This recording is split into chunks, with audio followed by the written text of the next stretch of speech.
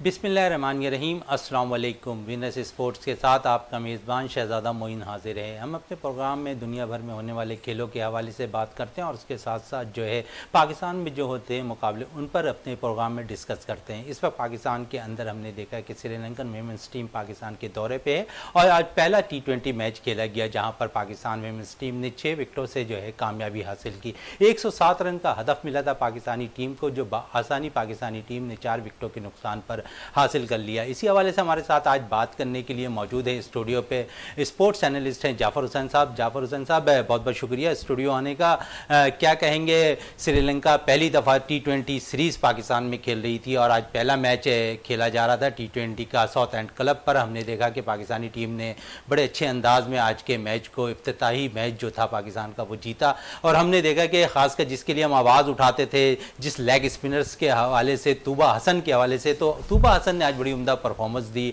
Team के अंदर और उन्होंने तीन विकटें हासिल की आठ रन देकर। तो समझते हैं कि एक न्यू कमिंग को चांस देना और उसके बाद उसने अपने इम्प्रूवमेंट दिखाई मैच के अंदर और पाकिस्तान को कामयाबी दिलाने में बहुत अहम किरदार अदा किया। नो डाउट आज का मैच बड़ा बेहतरीन था और अगर आप आप भी वहाँ पे मौजूद थे तो आप देखें, हब्स बहुत ज़्यादा था। कराची का शहर जिस तरह गर्मी ज़्यादा थी और बड़ा अच्छा फैसला किया, पहले बैटिंग करने का श्रीलंका ने। लेकिन बात यह थी कि श्रीलंका के वो प्लेयर्स चल नहीं सके। और पाकिस्तान ने जो है ना, वो अच्छी बॉलिंग का मुजाहरा किया। बात ये थी कि जितने प्लेयर्स थे पाकिस्तान की तरफ़ से, बड़ा जेल नज़र आ रहे थे, बड़ा अच्छा परफॉर्म करते हुए दिखाई दे रहे थे, एक दूसरे को बकअप करते हुए दिखाई दे रहे थे। ऐसा लग रहा था कि जैसे अंडरस्टैंडिंग खिलाड़ियों में बहुत अच्छी है। उसका रीजन यही होता है कि जितने नए खिलाड़ी होते हैं, जितने पुराने खिलाड़ी होते हैं और सबको साथ लेकर जब चलते हैं ना तो वो एक अंडरस्टैंडिंग बहुत अच्छी बन जाती है। तो एक तो ये प्लस पॉइंट था पाकिस्तान वुमेन्स टीम का। दूसरा यह कि बिस्मा की कप्तानी अच्छी थी। उन्होंने बड़ा अच्छा हैंडल किया, उन्होंने बड़े अच्छे मूव बनाए, अपने बॉलर्स को इस्तेमाल बड़े अच्छे तरीके से किया। इसी वजह से आपने देखा तुबा हसन, जिन्होंने डेब्यू में जो है ना, वो तीन विकेटें हासिल की आठ रन के ओवर्स लेकिन बात ये थी कि अपनी अगर आप देखेंगे उनको फील्डर्स ने बड़ा सपोर्ट किया। और फील्डिंग अच्छी थी, हर चीज़ बेहतरीन नज़र आ रही थी। और इसका रीजन यही था मुझे कुछ ऐसा दिखाई दिया, क्योंकि श्रीलंकन टीम थोड़ी सी बुझी हुई थी थोड़ी सी थकी हुई थी। वो समझ में नहीं आ रहा था क्या वजह थी, क्योंकि उन्होंने तीन दिन तो उन्होंने प्रैक्टिस भी की है हर चीज़ से ग्राउंड से भी आशना हो गए, अपने विकेट से भी विकेट के बिहेवियर से भी वो आशना हो गए थे। लेकिन कुछ ऐसा दिखाई दे रहा था जैसे कि कोई प्रेशर है या तो फिर वो जो श्रीलंका में एक एक आपको पता है कि बड़ी क्राइसिस चल रहे हैं वहाँ पे। क्राइसिस की वजह से भी हो सकता है लेकिन ओवरऑल आज का मैच बड़ा बेहतरीन था और बड़ा अच्छा तुबा हसन का हम तारीफ़ करेंगे तुबा हसन के साथ साथ आज पाकिस्तान ने एक और डेब्यू कराया गुल फिरोजा को विकेट कीपर बैट्समैन तो समझते हैं कि ये भी अच्छा साइन था दो खिलाड़ियों को अपने श्रीलंका के खिलाफ जो है आजमाया और आज हमने देखा कि जिस अंदाज में तुबा हसन ने उमदा परफॉर्मेंस दी गुल फिरोजा चल ना सकी, वो बैटिंग में ओपनिंग करने आई थी, सिफर पे आउट हो गई। लेकिन आने वाले मैचेस में क्या समझते हैं कि अगर उन पर एतमाद किया गया है तो आगे भी मैचेस उनको देने चाहिए, दोनों मैचेस टी ट्वेंटी देखिए, पाकिस्तान मेंस टीम को देखना चाहिए, उनके सेलेक्टर्स को देखना चाहिए कि खातन में नए टैलेंट को इजाफा किया जा रहा है, नए टैलेंट से परफॉर्मेंस ली जा रही है, लेकिन पाकिस्तान की जो मेंस टीम है, वो उसी डगर पर चल रही है, वही पुराने खिलाड़ी जो है ना, वो किसी को नए प्लेयर्स को चांस नहीं दिएगा वही खिलाड़ी जो है ना इवन ये कि काउंटी छोड़कर वापस आ गए कि हमने जो है ना, कोई चांस किसी और को नहीं देना, हमने ही खेलना है वेस्ट इंडीज के खिलाफ। तो ये भी एक, इनको सोचना चाहिए, इनको देखना चाहिए कि वुमेन्स टीम किस डगर पर चल रही है, इनके कोच कप्तान इनकी मैनेजमेंट इनके सेलेक्टर्स किस तरह अपनी वुमेन्स टीम को आगे प्रमोट कर रहे हैं किस तरह नए प्लेयर्स को ला के वो आ, मौका दे रहे हैं। तो ये बड़ा अच्छा था। गुल फिरोजा की आपने बात की। देखिए गुल फिरोजा जो है ना मुल्तान से ताल्लुक रखती हैं और और उनका स्टाइल उनके बात करने का स्टाइल उनका लुक जो है ना वो बिल्कुल बाबर आज़म की तरह है। तो उनके प्लेयर्स जो है ना उनको बाबरी बाबरी भी कह के पुकारते हैं। तो आज बैटिंग नहीं हो सकी सिफर पे आउट हो गए लेकिन इसमें कोई शक नहीं है कि वो बड़ी टैलेंटेड खिलाड़ी हैं बड़ी अच्छी विकेट कीपर भी हैं बड़ी अच्छी बैटर भी हैं तो उनको मुस्तबिल में हो सकता है कि बहुत अच्छा परफॉर्म करें। मुस्तकबिल में अच्छा परफॉर्म कर, करें जिस तरह श्रीलंका ने टॉस जीता आज के मैच के लिए मैच में और उसके बाद हमने देखा कि उन्होंने पहले बैटिंग करने को तरजीह दी। गो के उन्होंने 106 रन स्कोर किए। समझते मौसम का भी बड़ा थोड़ा सा फ़र्क क्योंकि कराची के अंदर हम देखते हैं कि बहुत ज़्यादा आज शदीद गर्मी थी। देखिए शदीद गर्मी थी, लेकिन दोनों टीमें आशना है। आपके मौसम से और श्रीलंका में भी बड़ी गर्मी होती है, वहाँ पे भी गर्म मौसम होता है उसमें लोग खेलते भी हैं उसमें हर चीज़ आपके जो है ना परफॉर्मेंस होती है। लेकिन यहाँ पे जो फैसला किया था श्रीलंका ने, फैसला गलत नहीं था, फैसला ठीक था, पहले बैटिंग ही करनी चाहिए थी, क्योंकि बैटिंग विकेट थी कोई बॉलिंग विकेट नहीं थे। लेकिन ये यहाँ पे हम पाकिस्तान वुमेन्स टीम को दाद देंगे कि उनके बॉलर्स ने बड़ा अच्छा परफॉर्म किया। आपका अनम अमीन ने भी बड़ी अच्छी अनम अमीन की बड़ी अच्छी बॉलिंग की उन्होंने 21 रन दे के जो है ना तीन खिलाड़ियों को आउट किया। इसके अलावा फातमा सना नहीं चली। हालाँकि उनसे बड़ी उम्मीदें हैं क्योंकि वो अभी रियाज थी। आलिया रियासी लेकिन फातमा सना से बड़ी उम्मीद है इस वजह से है क्योंकि वो अभी आपको पता है कि दुबई में खेल कर आई है और लीग खेल कर आई है। दूसरा है कि आईसीसी की आईसीसी की जो वुमेन्स की जो रैंकिंग है उसमें उनका शुमार होता है बेहतरीन बॉलर्स में। तो आज वो नहीं चली कोई ऐसी बात नहीं है। नेक्स्ट मैच में चल जाएँगे लेकिन तुबा हसन ने उनकी जो है ना कमी को पूरा करने में बड़ा अहम किरदार अदा फिर हम थोड़ी सी बात है बैटिंग के हवाले से भी कल ने निदा डार ने छत्तीस रन की इनिंग खेली बिस्मा मारूफ अट्ठाईस रन की इनिंग खेली है। समझते हैं कि बिस्मा मारूफ जो है अपना किरदार अदा करती दिखाई दे रही हैं कप्तानी का। देखिए निदा डार नो डाउट हर मौके पे अच्छा परफॉर्म करती हैं। उन्होंने वर्ल्ड कप में भी अच्छा परफॉर्म किया। वो एक तरह से उन्हें कहा जाता है, आसिफ अली, वो हार्ड हिटर बहुत अच्छी हैं, छक्के भी मारती हैं।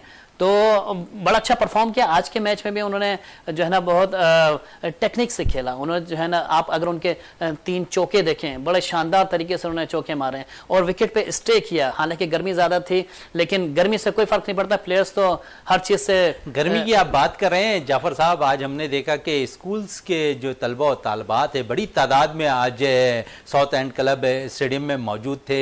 पाकिस्तान और श्रीलंका के मैच को देख रहे थे इंजॉय भी कर रहे थे, लेकिन शदीद गर्मी के बाईस हमने देखा कि उन बच्चों को पानी तक भी जो है मुहैया नहीं किया गया पीसीबी की जानब से। देखिए देना चाहिए था क्योंकि ये चीज़ें अगर पीसीबी किसी को इनवाइट कर रहा है तो उनकी हर चीज़ का ख्याल रखना चाहिए। अगर बच्चों के पास चूँकि होती है अपनी बोतलें होती हैं घर बोतलें वगैरह ले जाने की इजाज़त नहीं थी आज फिर। आज फिर अब देखिए इतनी सख्ती नहीं होनी चाहिए। देखिए अब तो कोविड से भी हम आ, दूर हो गए अब तो कोविड का भी ऐसा कोई सिलसिला है नहीं। तो मेरे ख्याल में जो है ना वो आज़ाद फील मतलब एक जो क्रिकेट और एक इन्वायरमेंट जो होता है कि स्पोर्ट्स का जो इन्वायरमेंट होता है वो एक फेस्टिवल की तरह होता है। आपके अगर उस फेस्टिवल की तरह आप जो है ना लोगों को इन्वॉल्व करेंगे क्योंकि अगर एक तरफ़ बॉन्ड कर देंगे जिस तरह मीडिया को बॉन्ड कर दिया था एक कमरे में बिल्कुल अगर मीडिया की बात करें जाफ़र साहब तो आज मीडिया बॉक्स भी गर्मी के आबोताब में नज़र आया हम हमने देखा कि वहाँ पर जो है, मीडिया वालों के लिए भी जो है, वहाँ पर ठंडी चीज़ें मुहैया नहीं की गई। आप पानी की बोतल अगर देखें तो वहाँ पर ठंडी उन्हें मैसर नहीं हो रही थी। एक एक घंटे बाद उन्हें ये चीज़ मैसर होती दिखाई दे रही थी। तो समझते हैं कि कम अज़ कम मीडिया के रोल को तो एक तरफ़ रखना चाहिए पीसीबी को। क्यों? मीडिया कोई आसमान से आता है? ऐसी बात तो नहीं है। आम आदमी है ना आम शख्सियत है ऐसी कोई बात नहीं है। आ, सब एक बराबर हैं। देखें वेन्यू उनका नहीं था। वेन्यू जो है ना पीसीबी का आपको मालूम है नेशनल स्टेडियम है। अगर वहाँ होते हैं तो हर चीज़ की सहूलियात होती हैं। इवन मीडिया के अलावा आपकी आम पब्लिक को भी वही सहूलियात होती हैं। लेकिन यहाँ पे आपका वेन्यू नहीं है। यहाँ आप जो है ना किसी और से आपने ग्राउंड लिया हुआ है किसी और की जगह को इस्तेमाल कर रहे हैं। तो हो सकता है कि यहाँ पर उस तरह की फैसिलिटीज़ ना हों जिनको आप नेशनल स्टेडियम में आप लोग को मिलती रही हैं।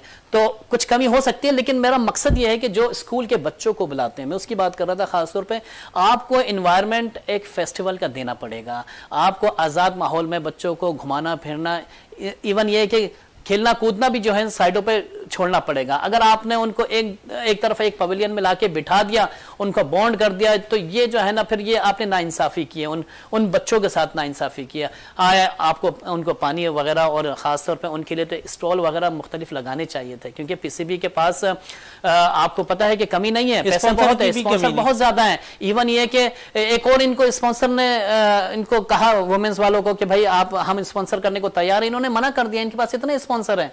तो मकसद ये है कि आपको जब हर चीज़ है तो आप फैसिलिटेट करें तो जाफ़र साहब जिस तरह आप कह रहे हैं कि किसी स्पॉन्सर ने पीसीबी से रब्ता करने की कोशिश की उन्हें पीसीबी ने मना कर दिया गो कि अगर वो काम जो है वो स्पॉन्सर इन बच्चों के लिए तलबा और तालबात के लिए अपनी कोई चीज़ करके चला जाता तो यकीन तलबा और तालबात का बेहतर होते दिखाई देते स्टेडियम आते हुए इंजॉय करते दिखाई देते तो वहाँ तो हमने देखा कि बहुत ज़्यादा वो जो है गर्मी से मुतासर हो रहे थे। देखिए मुतासर इसलिए हो रहे थे कि खातन प्लेयर्स में कोई आइकॉन नहीं है कोई ऐसा चाम नहीं है जिसको लोग देखने आए जिसको बच्चे आए उनको देखने के लिए कोई लेकिन आपने जिस तरह ज़िक्र किया था ना बाबी बबी के बाबर के शक्ल की मुनासबत रखने वाली गुल फिरोजा के हवाले से तो शायकी क्रिकेट हमने भी देखा वहाँ पर कि काफ़ी आवाज़ लग रही थी उनके हवाले से जब वो बैटिंग करने जा रही थी ग्राउंड के अंदर। देखिये बात यह है कि आवाज़ तो लग रही थी लेकिन मकसद ये है कि उस तरह का चाम तो नहीं है ना। जिस तरह का होता है, जिस तरह मैंस प्लेयर का है, वो चीज़ें अगर हों तो फिर ये है कि आपको और भी अच्छी जो है ना लोगों का और हजूम मिले। अब तो आपने मुख्तलिफ़ कॉलेज स्कूल के बच्चों को बॉन्ड किया हुआ था। वहाँ पे आपने कैद किया हुआ था। मैं तो ये कहूँगा आपको आज़ाद माहौल देना चाहिए। बच्चे घूमे फिरें आराम से पवेलियन में देखें कि एक नया एनवायरमेंट मिला है। वहाँ आके देखें क्या ऐसा क्या हो रहा है वहाँ पर आप देखें को, कोई ऐसी बात नहीं है सिक्योरिटी के लिहाज से भी बहुत अच्छा था। आपने हर चीज़ सिक्योरिटी बड़ी अच्छी की हुई थी। आपके बच्चे आपके जो खातन प्लेयर्स हैं वो ग्राउंड में थी। आपका ड्रेसिंग रूम में थी। तो मकसद ये था कि जो आम पब्लिक आई हुई है, उनको घूमने फिरने दें पवेलियन में। आपने क्यों उनको बॉन्ड किया हुआ है? मकसद ये है कि आपको जब कोई स्पॉन्सर देने को तैयार है, आप उसको भी मना कर रहे हैं। अगर कोई स्पॉन्सर दे रहा है एटलीस्ट पानी, आपको एटलीस्ट कोई ऐसा स्टॉल लगा के दे रहा है बच्चों के लिए फ्री में तो वो तो ज़्यादा अच्छी बात है ना, लोग और आएँगे। तो मकसद ये होता है कि जब इस तरह की चीज़ें होंगी ना तो फिर मेरे ख्याल में कोई पब्लिक इनको देखने के लिए नहीं आएगी, कोई मैच देखने के लिए नहीं आएगी। सिर्फ़ और सिर्फ़ देखें मैच बहुत अच्छा हुआ। लेकिन देखने वालों की तादाद कम थी, ठीक है? सहाफियों के साथ बड़े मसाइल थे और मसाइल को इतनी बड़ी बात नहीं, बर्दाश्त करने चाहिए, क्योंकि आपको पता है कि जिस जगह पे हो रहा है, उस जगह पे ऐसा होता है, कोई पहली मरतबा वहाँ मैच नहीं हो रहा। डीएचए क्लब में। तो मकसद ये है कि आपको हर तरह से, हर माहौल में जो है ना, एडजस्ट अपने आप को करना पड़ेगा सहाफियों को एटलीस्ट में ये बात कर रहा हूँ। क्योंकि आप देखें, पाकिस्तान में बड़ी अच्छी सहूलियात हैं सहाफियों के लिए। लेकिन अगर आप बाकी दुनिया की किसी और जगह चले जाएँ तो इतनी अच्छी सहूलियात नहीं है। ये मैं पूरी दुनिया देख के आ चुका हूँ, उस उस लिहाज से मैं आपको बात कर रहा हूँ। देखें, इंग्लैंड हो गया और आपका ऑस्ट्रेलिया हो गया, ये तो फिर भी ठीक है रिच कंट्री है।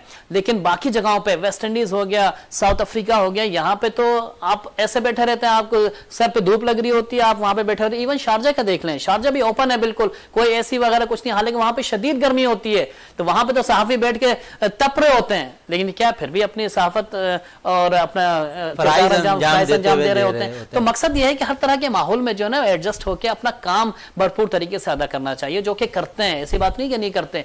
लेकिन ये छोटी मोटी बातें होती रहती हैं। गर्म पानी मिल गया तो क्या हो पी ले चाय भी तो गर्म होती है ना। गुजारा करें। बिल्कुल गर्म पानी भी मिल गया। तो जाफ़र साहब किस तरह देखते हैं बकिया दोनों टी ट्वेंटी मैच में थोड़ी सी तब्दीली करनी चाहिए मजीद पाकिस्तानी टीम को कोई नए प्लेयर्स को जो है चांस दिया जाए मजीद? मेरे ख्याल में तब्दीली नहीं करनी चाहिए और इन दोनों तीनों बच्चियों को मुकम्मल चांस देना चाहिए, क्योंकि बड़ा अच्छा इन्होंने प्लान किया इन्होंने फ़ौरन ही पहले ही मैच में जो है ना अपने डेब्यू करवा दिया अपने दो प्लेयर्स का। बहुत अच्छी बात है और आपको पता है कि जब एक विनिंग ट्रैक पर टीम चल रही होती है तो उसमें अगले मैच में गुंजाइश नहीं रहती किसी को चेंज करने की तो विनिंग ट्रैक के साथ ही जाया जाता है। तो अगले दो मैचेस में इन्हीं के साथ जाएँ। हो सकता है कि गुल अच्छा स्कोर कर दें, क्योंकि उससे बड़ी उम्मीदें हैं।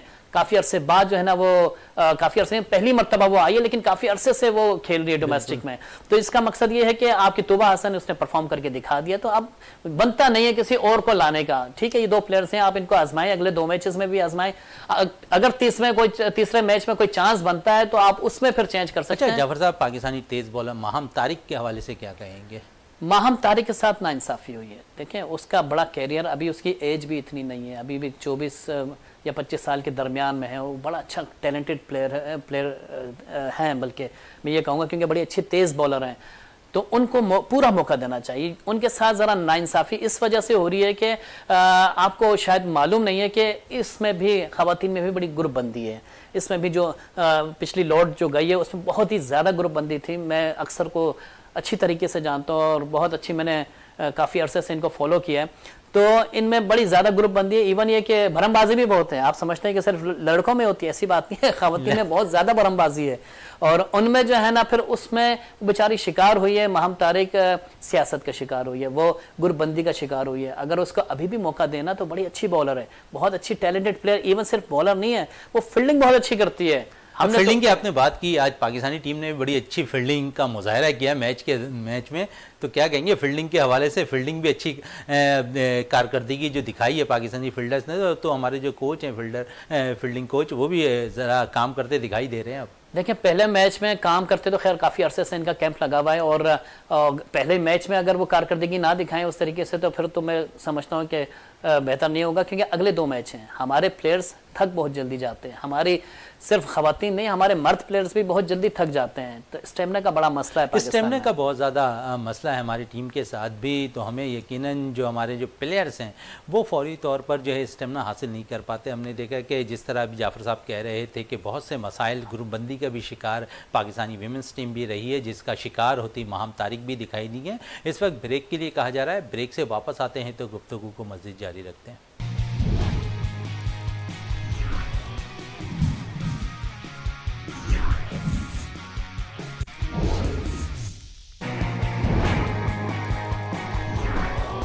वक्फे से पहले बात हो रही थी पाकिस्तान क्रिकेट टीम के हवाले से वेमेन टीम के, जहाँ आज पाकिस्तान ने जो है श्रीलंका वेमेन टीम को जो है छः विकटों से शिकस्त दी। आज पाकिस्तान खेलों के हवाले से अच्छा रहा है पाकिस्तान क्योंकि हमने देखा कि पाकिस्तान ने जो है जगारता में एशिया कप जारी है, हॉकी का। वहाँ पर भी पाकिस्तान ने आज इंडोनेशिया को तेरह गोल से शिकस्त दी है। गो के इंडोनेशिया की टीम पैंतालीसवीं पोजिशन पर फाइज है आलमी रैंकिंग में हॉकी में लेकिन हम जो है इस वक्त भी अट्ठारहवीं पोजिशन में हॉकी में मौजूद हैं, लेकिन आज हमने बड़ी उम्दा खेल का मुजाहरा किया और तेरह गोल से शिकस्त दी इसी हवाले से बात करते हैं हम जाफ़र हुसैन साहब से। जाफ़र साहब क्या कहेंगे? पहले इंडिया से मैच बराबर खेला कल हमने और आज हमने तेरह गोल से शिकस्त दी इंडोनेशिया की टीम को गो के इंडोनेशिया की टीम पैंतालीसवें नंबर पर फाइज है आलमी रैंकिंग में। हमारा अट्ठारहवा पोजीशन है। तो समझते हैं कि इस एशिया कप में तो अब तक की कारकर्दगी जो दो दिन के अंदर रही है, पाकिस्तान की अच्छी रही है। देखिए, बहुत अच्छी रही है, क्योंकि हम यही बात कर रहे थे गुजशत रोज़ के, भारत के ख़िलाफ़ हमारे प्लेयर्स ने मिसिंग बहुत ज़्यादा की जो हमारे फॉरवर्ड लाइन थी, उन्होंने बहुत ज़्यादा मिसिंग की थी। आज उन्होंने इम्प्लीमेंट किया, आज उन्होंने रिज़ल्ट दिया है पाकिस्तान टीम को। तो जितने गोल हुए ज़्यादातर फ़ील्ड गोल हुए, और बहुत अच्छा राना वहीद ने जो गोल किए आउट क्लास गोल किए, उनकी स्पीड उनकी उनके जो हॉकी की क्लिकिंग थी वो बड़ा बेहतरीन थे। लग रहा था कि एक अच्छी टीम स्पीड में खेल रही है एक अच्छे रिदम के साथ ग्राउंड में उतरी हुई और अच्छा खेल पेश कर रही है। तो हमने देखा कि हमने ज़्यादातर गोल फ़ील्ड में किए। तो थोड़ी सी हमें जो है ना फिर भी इस चीज़ को मद्देनजर रखना पड़ेगा क्योंकि इंडोनेशिया आपको पता है कि पैंतालीसवें नंबर पे है वर्ल्ड रैंकिंग में और पाकिस्तान का अठारहवां नंबर है, लेकिन उससे उससे दूर हट के उसको हटा के, लेकिन फ़ील्ड में जब मैच हो रहा होता है ग्राउंड में जब मैच हो रहा होता है, दो टीमों के दरमियान में होता है। वो कोई रैंकिंग नहीं देख रहे होते कि ये फलानी रैंकिंग की टीम है, ये फलानी रैंकिंग की। मुकाबले के लिए खिलाड़ी मौजूद होते हैं तो उनको अपना परफॉर्म करना पड़ता है बेहतर से बेहतर। गो के, इंडोनेशिया में आपको मैं बताऊँ कि ताहिर जमान भी गए हुए थे, काफ़ी अरसे से वहाँ पे जो है वो काउंसलिंग कर रहे हैं, वहाँ के प्लेयर्स का, वहाँ की हॉकी को जो है ना, वहाँ पे सिखा रहे हैं। कोचिंग तो नहीं कर रहे, लेकिन काउंसलिंग के लिए बेसिकली गए लेक्चर्स वगैरह दे रहे हैं वहाँ पे। तो एक तरह से इंडोनेशिया खड़ा हो रहा है। हॉकी की फ़ील्ड में अगर अगर आज वो पैंतालीसवें पे तो हो सकता है वर्ल्ड कप के करीब करीब या आगे जो है ना, वो मुकाबलों में चार साल बाद उसका रिज़ल्ट आया या तीन साल बाद रिज़ल्ट आया तो वो बहुत अच्छा परफॉर्म करता दिखाई दे। गो कि आज पाकिस्तान ने बहुत अच्छा परफॉर्म किया।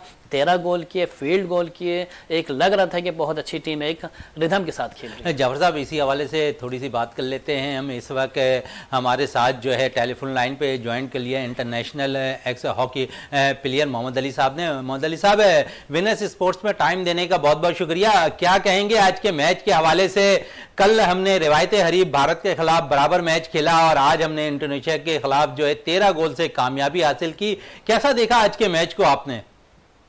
नहीं मुन्ना पहले तो बहुत बहुत आपका शुक्रिया कि मुझे ऑनलाइन आपने लिया। दूसरा ये कि मैं ये समझता हूँ कि पाकिस्तान को इस मैच से जीतने से कॉन्फिडेंस लेवल उनका बहुत बड़ा होगा और मैं ये भी समझता हूँ कि जो हमारी कोचिज थे जो कल का मैच हमने इतना टफ खेला इंडिया के खिलाफ जो हम मिसिंग भी हुई मैं समझता था वो हमें मैच विन करना चाहिए था।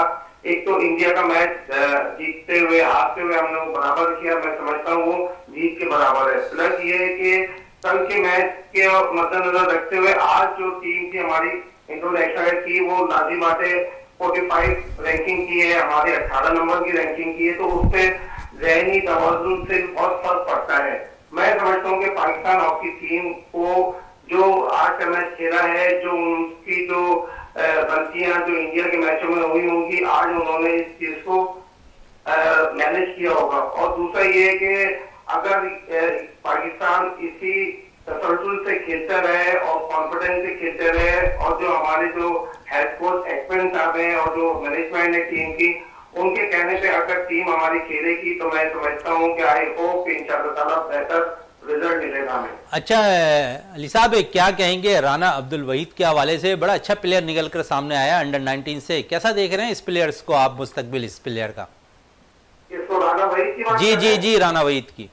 जी मैं समझता हूँ कि जूनियर लड़कों में is the best player Rana भाई इसने इंडिया क्लास भी गोल किया और जब पाकिस्तान जूनियर वर्ल्ड कप खेलने गई थी उस टीम का ये कप्तान भी था और वॉकर से इनका ताल्लुक है, मैं समझता हूँ कि बहुत मेहनती लड़का है। देखिए, हमारे पास टैलेंट की कमी नहीं है टैलेंट बहुत है। बात यह है कि इंसेंटिव प्लेयरों को मिलना चाहिए।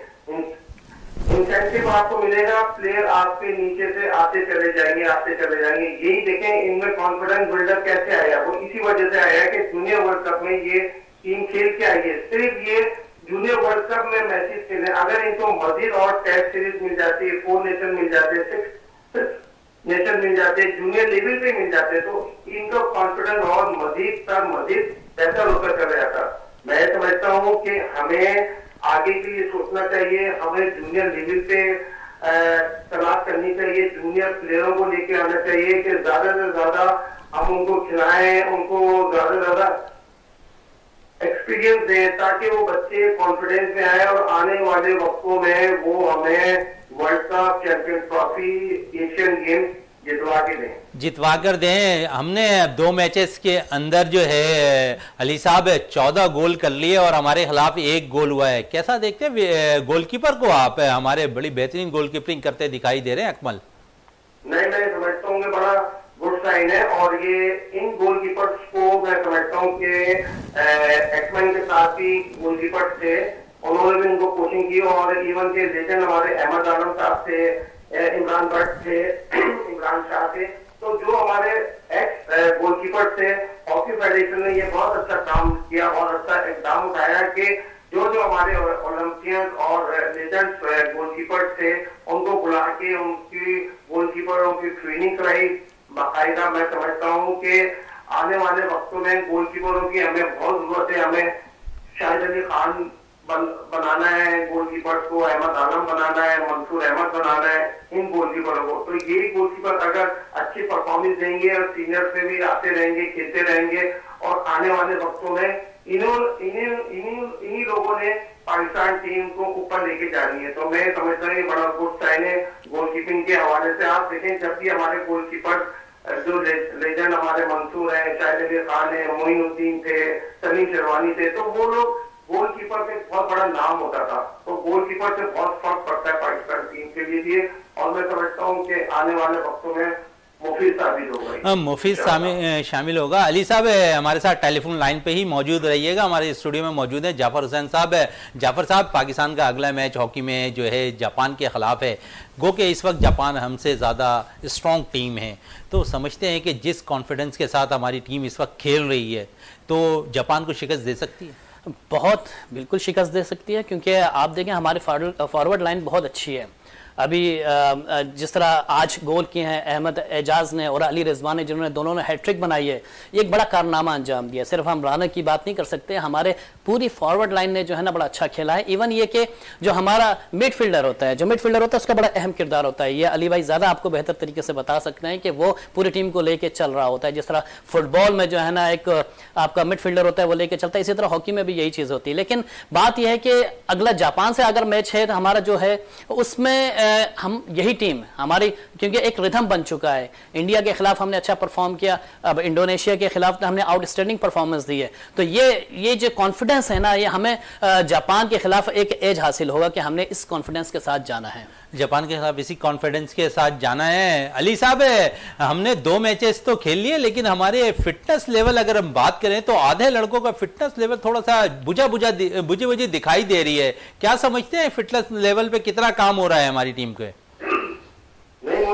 तो बात ये है कि कल जो मैच हुआ है पाकिस्तान इंडिया का डू एंड डाई वाला मैच था, बड़ा टफ मैच था। एक तो उसकी भी थकान होगी दूसरा ये कि आज इनको जो मैच मिला वो बड़ा था तो इजिली इन्होंने तेरह गोल से जीता, लेकिन इन्होंने जो इनकी खामियाँ थी, वो उससे उन्होंने दूर करी होगी। अभी आप देखें ना, जापान ने इंडिया को फाइव फाइव टू से जीता है। शायद आपको भाई इसकी इंफॉर्मेशन हो तो हमें अब जापान को देखना है, कोरिया को देखना है। ये जो मैच हो गया है, वो जस्ट एक प्रैक्टिस मैच था, वो हमने खेल लिया, ठीक है? अब हमने आगे इन टीमों को पकड़ना है। अब आप देखेंगे, जो टीम से हम फिफ्टी एट मिनट इंडिया से हार रहे थे। दो मिनट पहले हमने मैच उसको बराबर किया है। वही टीम जापान ने फाइव टू से इंडिया को जीता है। तो हमें ये सोचना होगा, हमें ये प्लान करना होगा ऑफिशियल्स को बैठ के इसके ऊपर डिस्कशन करना होगा, कहाँ जापान का प्लस पॉइंट है, कहाँ उसका माइनस पॉइंट है, कहाँ उसकी वीकनेस पॉइंट है वो ये सब देख के हमें एक प्रॉपर अली साहब है नदीम लोधी साहब है एनालिस्ट है वीडियो एनालिस्ट है। आप समझते हैं कि उन्हें बाकायदा तौर पर आज जो जापान और इंडिया का मैच हुआ जिसमें जापान ने कामयाबी हासिल की उनको प्रॉपर पूरी टीम को बैठाकर ये वीडियो ज़रूर मैच की दिखानी चाहिए कि कहाँ पर जापान टीम जो है मैं आपको बताऊँ वीडियो एनालिस्ट माशाल्लाह बहुत ही मंजे हुए ये वीडियो एनालिस्ट है और आज से नहीं, काफ़ी जमाने से ये पाकिस्तान टीम के साथ है और मैं ये समझता हूँ कि जितने कोचिज इनके साथ रहे हैं और इनको उस कोचिज के हवाले से भी हॉकी के बारे में बहुत चीज़ पता है। मैं इनके साथ रहा हूँ, इनके साथ मैंने काम किया है। चौधरी साहब का ये है कि अगर कोई चीज़, अगर कोच या मैनेजर कोई चीज़ पॉइंट माँगता है कि मुझे इस एरिया की दस मिनट की या पाँच मिनट की है दो मिनट के ये मुझसे चाहिए, वो विदन फ़ौरन निकाल के देते हैं इस एरिया के कि मुझे मतलब फिर मिडफील्ड का मुझे दो मिनट का राइट का चाहिए लेफ़्ट का चाहिए फॉरवर्ड का चाहिए। तो ये चीज़ें, माशाल्लाह लोधी अपने काम में माहिर है और बहुत अच्छा काम कर रहे हैं। मैं ये समझता हूँ कि इनको वीडियो ज़रूर देखना चाहिए। जापान के मैच को बैठ के प्लेयर्स को बैठ के फॉरवर्ड को भी लेके बैठा के डिफेंस को भी गोलकीपर्स को भी क्या उनकी खामियाँ हैं, क्या उनकी अच्छाई है, उसको ऊपर डिस्कशन करना चाहिए, और प्रेशर नहीं लेना चाहिए। देखिए, हार जीत खुदा के हाथ में टीम एक एक टीम हारती है, एक टीम जीतती देखिए, इंडोनेशिया भी टीम आ रही है, तेरह गोलों से, ठीक है ना? वो भी अपने मुल्क को वो रिप्रेजेंट कर रही है। लेकिन बात ये है कि जो टीम ग्राउंड में अच्छी परफॉर्मेंस देगा, वो जीतेगा। हमारा जो असल मुकाबला है, हमारा कोरिया से, जापान से है, मलेशिया से है इन टीमों से हमारा मुकाबला है। अगर हम इनको कवर अगर इनको शिखर देंगे तो इंशाल्लाह ताला आने वाले वक्तों में हम तो समझते हैं कि आलमी कप के में क्वालिफाइंग के लिए जो है अगर हम फाइनल फोर में आ जाते हैं तो क्वालिफाई कर जाएँगे। बिल्कुल इंशाल्लाह ताला। ठीक है इंडिया तो ऑलरेडी होस्ट है वो तो ऑलरेडी पहली से ही क्वालिफाई की हुई है उसने चाहे वो फ़र्स्ट आए सेकंड आए थर्ड आए या कोई भी नंबर पे आए। बात ये कि अब हमने जो मुकाबला करना है जापान है कोरिया है ठीक है ना मलेशिया है इन चार चार टीमों में से हमने क्वालिफाई करनी है। इंडिया को अभी आप भूल जाए इंडिया को आप से निकाल दें। अच्छा जिस किस्म की आप बात कर रहे हैं अली साहब तो समझते हैं जिस तरह जो है आजकल की हॉकी बहुत ज़्यादा तेज हो गई है तो उसमें गोलकीपर्स का जो किरदार है वो 50 परसेंट ज़्यादा होता दिखाई दे रहा है।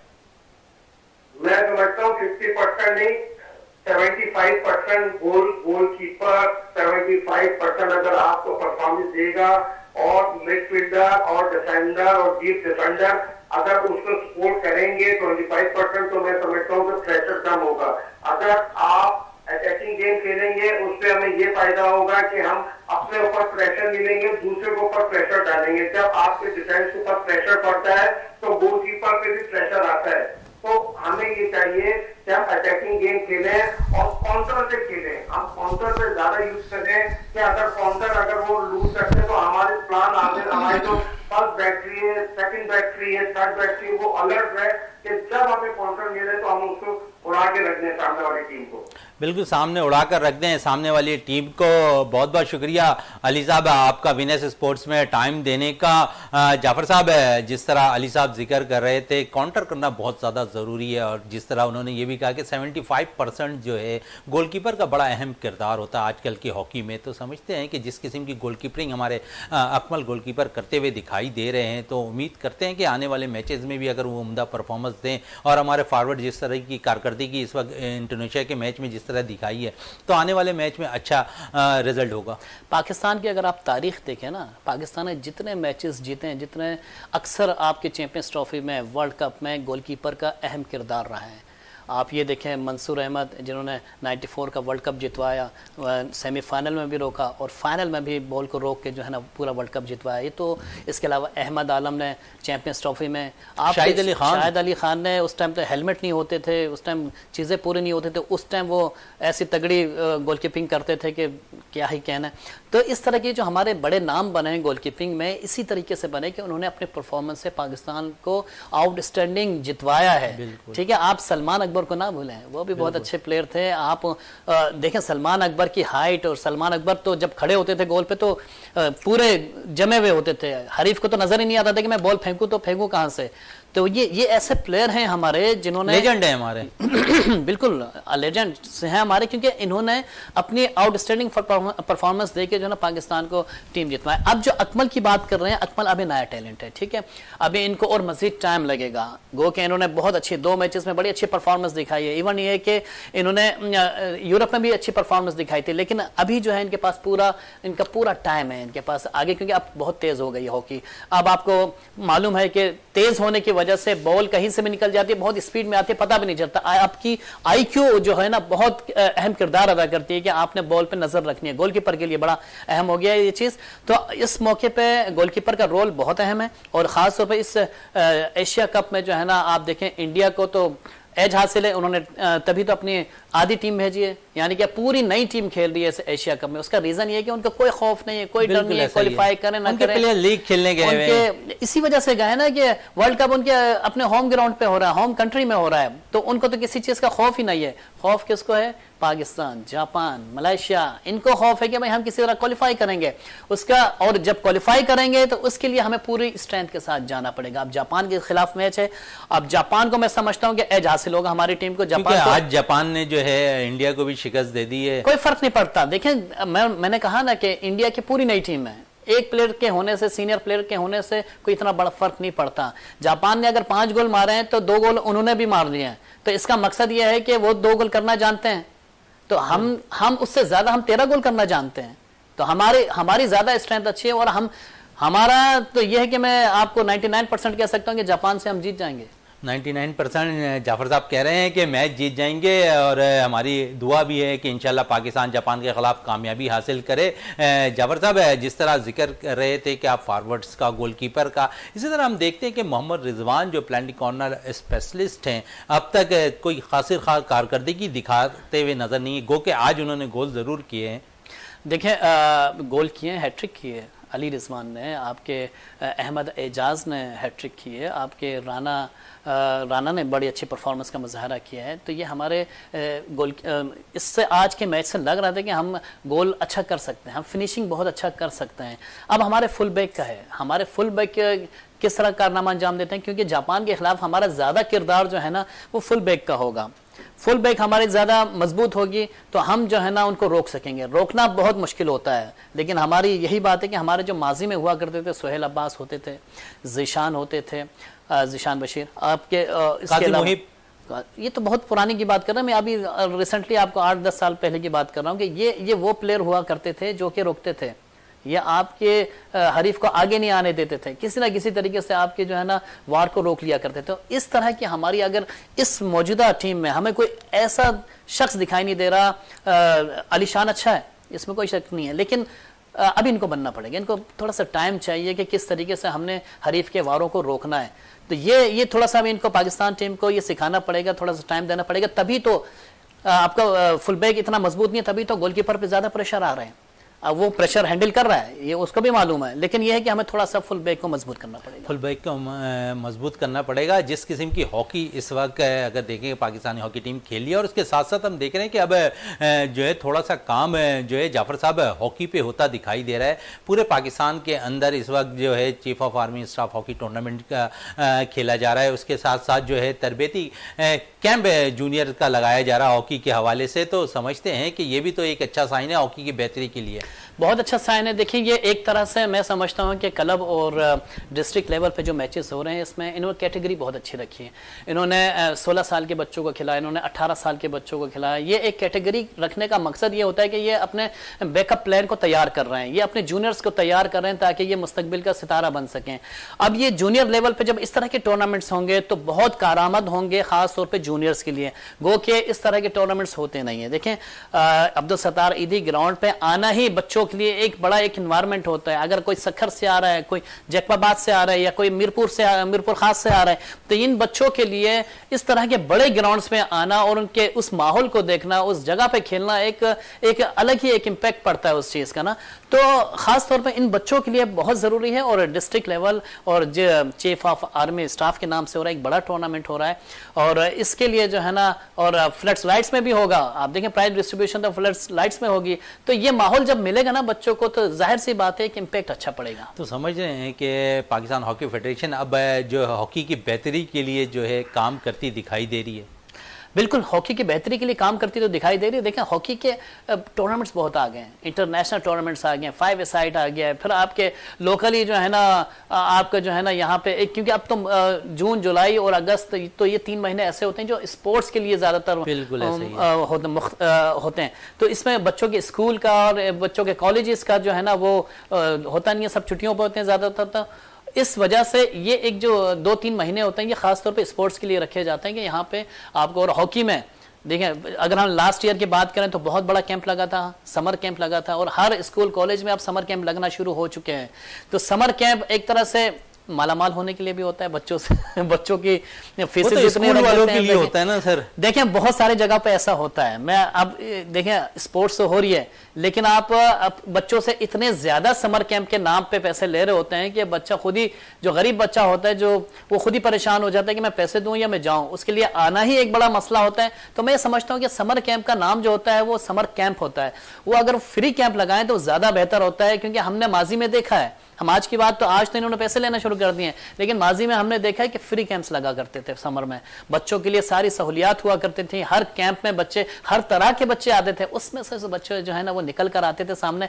मुख्तलिफ़ खेल जब खिलाते हैं बच्चों को तो टैलेंट नज़र आ जाता है। टैलेंट नज़र आ जाता है। जिस किस्म की हॉकी की कारकर्दगी पाकिस्तान की चल रही है, जाफ़र साहब है।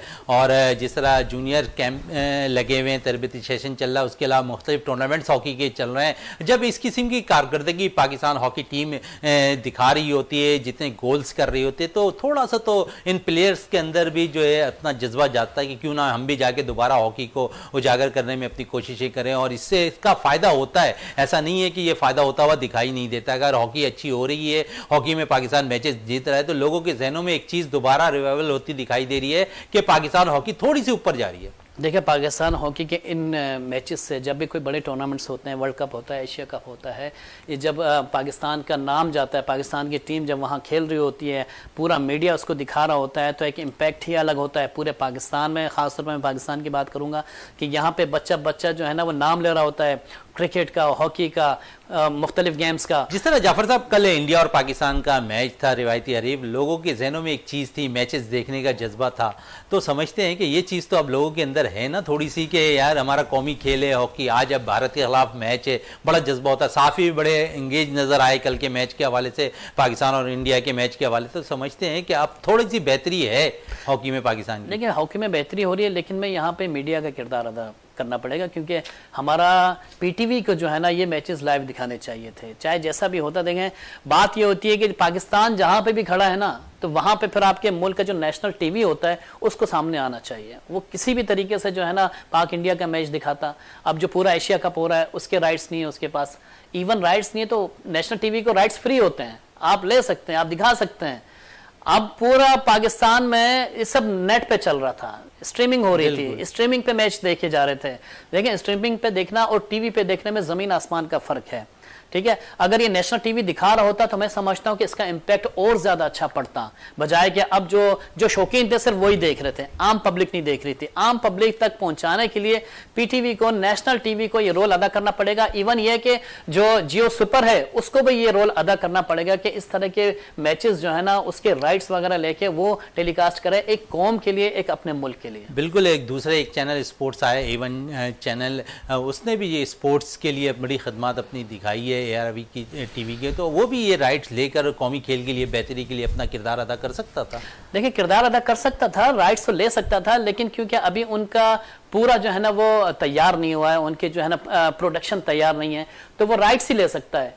इवन ये कि हम अगर जियो सुपर की बात करें या पीटीवी की बात करें तो इनके पास तो राइट्स भी मिल सकते हैं और इनके प्रोडक्शन भी है। तो आप इस चीज़ को भी मद्देनजर रखें। तीसरी बात यह कि इस, इन मैचेस से जो फ़ायदा हुआ ना, असल फ़ायदा जो है ना, पाकिस्तान के एशिया कप में खेलने से, आज के मैच की विनिंग से गुजशत रोज के ड्रॉ करने से, पाकिस्तान की जो फाइव साइट है, जो स्विट्जरलैंड जा रही है, उसको बहुत फ़ायदा हुआ होगा। उनके प्लेयर्स को बहुत एक हौसला बड़ा होगा और आज जो है ना, उनको वीजे भी मिल चुके हैं। तो दो जून को जो है ना, पाकिस्तान जाएगी और पहला मैच जो है ना, वो मेरे ख्याल में चार या पाँच जून को उनका पहला मैच है। तो वो भी इंडिया के साथ है। आप ये देखें कि अब आगे बहुत सारी हॉकी आ रही है आपके मैचेस बहुत अच्छे आ रहे हैं तो आपको जो है ना आ, कुछ ऐसा दिखाना पड़ेगा आपके मीडिया को दिखाना पड़ेगा। आम पब्लिक तक ये मैचेस जब जाएँगे तब इसका बहुत ही अच्छा इंपैक्ट अच्छा जाफ़र साहब फाइव ए साइड के लिए टीम गई है दस रुकनी टीम का दस्ता है तो समझते हैं कि वहाँ भी एक दो प्लेयर्स तो हमारे कौमी स्कॉड को ज्वाइन कर सकते हैं। कर सकते हैं, लेकिन सिलेक्शन मेरे ख्याल में हो चुकी है और सिलेक्शन जब हो जाती है और कोच और मैनेजमेंट फिर उन्हीं प्लेयर्स पर रिलाई करती है, क्योंकि फाइव साइड एक अलग खेल है। सर, आने वाले वक्तों के लिए हमारे पास तो वो दस प्लेयर्स भी पाकिस्तान की नुमाइंदगी कर रहे हैं ना। बिल्कुल होंगे। देखिए बात यह है कि ये तो अंदर भी टैलेंट तो मौजूद है। फाइव साइड तो ज़्यादा फास्ट है। इसमें तो स्टेमिना ज़्यादा चाहिए होता है। अगर आपको कुछ ऐसे प्लेयर्स दिखाई देते हैं कि ये फाइव साइड में अच्छा परफॉर्म कर रहे हैं इनका स्टेमिना बहुत अच्छा है तो नो डाउट इसमें मेन टीम में भी आ सकते हैं। और ये सब एक हैं। हॉकी प्लेयर एक ही है। क्योंकि फाइव साइड एक फॉर्मेट है। हॉकी तो वही है। खेलना तो उसी तरीके से। फॉर्मेट चेंज है, बस आप फॉर्मेट चेंज होगा तो उसमें आपको भागम दौड़ ज़्यादा होगी, आपको इधर आगे भी जाना है, पीछे भी आना है, गोल भी कर रहा है, आपको डॉज भी करना है, ये सारी चीज़ें चलती हैं फाइव साइड में। तो आपको अगर कोई अच्छा प्लेयर दिखता है तो वो मेन टीम में उसको लाजमी लेना चाहिए अगर, क्योंकि हम ऐसे ही जगह से अपने सिलेक्शन कर सकते हैं। सिलेक्शन कर सकते हैं। स्पॉन्सर का बड़ा अहम किरदार होता है, जाफ़र साहब है, हम देखते हैं कि कौमी खेल की बेहतरी के लिए अभी इससे कुछ देर पहले आप क्रिकेट के हवाले से बात कर रहे थे कि स्पॉन्सर क्रिकेट में चले जाते हैं, वहाँ उनको बाकायदा तौर पर स्पॉन्सरशिप मिल भी जाती है गो के अब मना भी कर दिया जाता है। तो हॉकी के लिए क्यों ना ऐसे लोग सामने आए? देखिए हॉकी के लिए तो पूरा सुबह ही सामने आ रहा है। देखिए वज़ीर आला मुराद अली शाह जो है ना वो तो हर साल ही स्पॉन्सर नहीं देते हैं। स्पॉन्सर इसलिए नहीं आ रहे कि आपकी फेडरेशन जो है ना उसका कोई मार्केटिंग हेड नहीं है उसकी मार्केटिंग टीम नहीं है वो मार्केटिंग क्या कर रही है वो दिखाई नहीं दे रही। देखिए फेडरेशन जो है ना, वो अपनी मार्केटिंग टीम बनाती है, जिस तरह पीसीबी ने बनाई हुई है। इसी तरह वो मार्केटिंग करती है, पूरी जगह जगह जाके वो स्पॉन्सर लेकर आती है। अब जो भी होता है फेडरेशन हॉकी फेडरेशन का, ये सिर्फ़ और सिर्फ़ टूर्नामेंट करवाते हैं। जब कोई बड़ा टूर्नामेंट या नेशनल टूर्नामेंट होता है, उसके लिए जो है ना, ये हायर करते हैं मार्केटिंग टीम को। उससे फिर ये अपने जो है ना स्पॉन्सर लेकर आते हैं। तो मकसद ये है कि जब ये मुख्तलिफ़ छोटे छोटे टूर्नामेंट्स में स्पॉन्सर आएँगे स्पॉन्सर तैयार बैठे हुए हैं वो आने के लिए तैयार है, उनको अप्रोच करने वाला कोई नहीं है। कोई ऐसा प्लेटफॉर्म नहीं बनाया जा रहा फेडरेशन की जानब से कि लोग उनके पास जाएँ और उनको कहें कि भाई ये टूर्नामेंट है, इसमें हमें ये चीज़ चाहिए। आप अगर जायज़ तरीके से चीज़ लेंगे ना तो स्पॉन्सर देंगे। अगर आप नाजायज तरीके से दूसरे का नुकसान चाहेंगे तो कभी भी नहीं होगा। ये फ़ायदा नहीं होगा, कभी भी नुकसान ही होगा। क्योंकि हमने अक्सर माजी में देखा कि आप कोई टूर्नामेंट करवाते हैं, एक टूर्नामेंट एक हल्का सा होता है, उसमें आपकी आठ दस टीमें होती हैं, लेकिन आप करोड़ों का बजट देते हैं। तो स्पॉन्सर भी तो देख रहा होता है ना कि यार आप ये ये टीमें कौन सी हैं ये आपका फॉर्मेट कौन सा है हम इसको एकदम से दो करोड़ चार करोड़ कैसे दे दें? तो मकसद ये है कि आप उतना मांगे जितना कि लग रहा है। आप अगर हद से ज़्यादा जाएँगे तो, तो जिस तरह हमारी कौमी टीम खेल रही है और जिस तरह हम पे तनकीद हुई यूरोप के दौरे के हवाले से काफ़ी ओलंपियन ने तनकीद भी की। अब उन ओलंपियंस को तो कम अज़ कम जाफ़र साहब एक हो जाना चाहिए कौमी खेल हॉकी के लिए। देखिए, हमारे माशरे में, हमारे ख़ास तौर पर कल्चर में ये चीज़ नहीं है कि हम एक हो जाएँ। आप कहीं ना कहीं हम जो ना एक दूसरे की बुराई, गीबत करते दिखाई देंगे। आप किसी भी शोबे में ले लें। सिर्फ़ मैं हॉकी प्लेयर्स की बात नहीं कर रहा, मैं हर चीज़ जगह, हर हर शख्सियत की बात कर रहा हूँ। इसको मुतहद करने के लिए, कौम का जज्बा पैदा करने के लिए एक अलग ही नेशन होती है। हम माजरत के साथ मुझे ये कहना पड़ रहा है कि हम एक नेशन नहीं बन पा रहे। जब हमारे इंसिडेंट होता है कोई, अल्लाह न करे कोई ऐसा वाक्य हो जाता है जिस तरह एपीएस का वाक्य हुआ था, तब हम जो है ना बढ़ चढ़ कर एक हो जाते हैं। ठीक है? लेकिन जब इस तरह के मुकाबले होते हैं, जब इस तरह की चीज़ें होती हैं तो हम मुतहद नज़र नहीं आते। हम हम बटे हुए हैं। ये माजरत के साथ मुझे कहना पड़ रहा है, हम जिस माशरे में रह रहे हैं, हमारे कल्चर को इस तरह बना दिया गया है कि हम जो है ना जुदा जुदा हो गए इवन एक ख़ानदान में इख्तलाफात पैदा हो गए हालाँकि हम कुरान पाक पढ़ते हैं, हम इस्लामी तालीमत पढ़ते हैं, उसमें साफ़ ज़ाहिर है, हर चीज़ लिखी हुई है कि मुतहद से जो है ना मुतहद होना पड़ता है, एक दूसरे का ख्याल करना पड़ता है। हम ये, इन चीज़ों से दूर होते जा रहे हैं। इस चीज़ का बड़ा अफसोस है हमें। अच्छा जाफ़र साहब, आज खेलों के हवाले से पाकिस्तान ज़्यादा बेहतर रहा क्रिकेट में भी हमने कामयाबी हासिल की, हॉकी में भी हमने कामयाबी हासिल की, और कोशिश हमारी यही है कि Pakistan cricket team, Pakistan hockey team और दीगर खेलों में जिस तरह पाकिस्तान टीम अपनी नुमाइंदगी करती है मुल्क की तो उसमें भी कामयाबी हासिल करे। जाफ़र हुसैन साहब, आपका बहुत बहुत शुक्रिया। शुक्रिया प्रोग्राम में टाइम देने का प्रोग्राम का अख्ताम करते हैं इस दुआ के साथ कि पाकिस्तान में खेल और खिलाड़ी तरक्की करते रहें और पाकिस्तान का सब हिलाली परचम दुनिया भर में रोशन रहे। इसी के साथ अपने मेज़बान शहजादा मोइन को इजाज़त दें। पाकिस्तान जिंदाबाद।